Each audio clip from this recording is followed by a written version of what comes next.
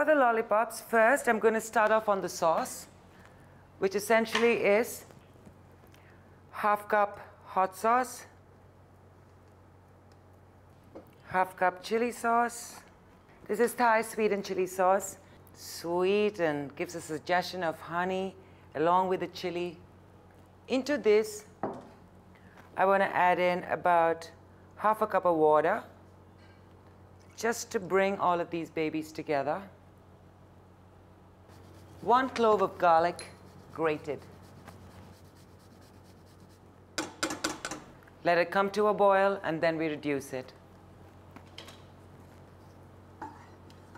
Now, moving to the star of our show, chicken lollies. What I'm going to do is lightly dust my lollies with flour, some salt into this,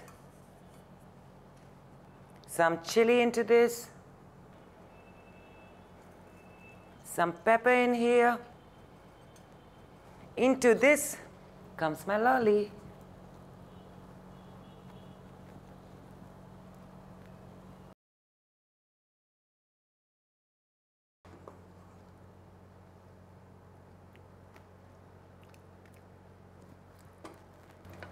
That's ready. This is ready. Because I love deep frying so much, I've taken care of myself to the next level. Today I'm using pomace oil, which is essentially an extract of all the stuff in the olive that doesn't make the grade of an olive oil or an extra virgin oil.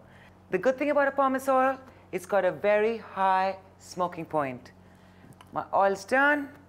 In goes these puppies.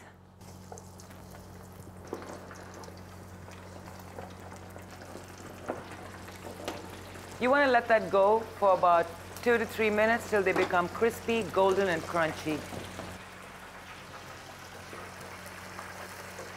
I know. I severely lack in the patience department.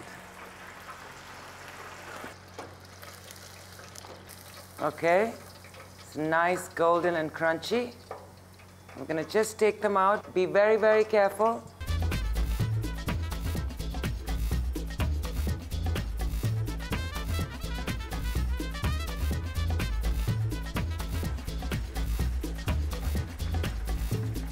my sauce.